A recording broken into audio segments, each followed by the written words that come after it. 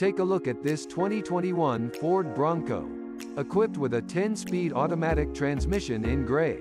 This car comes with some great features including alloy wheels, convertible, Android Auto, anti-lock brakes and more.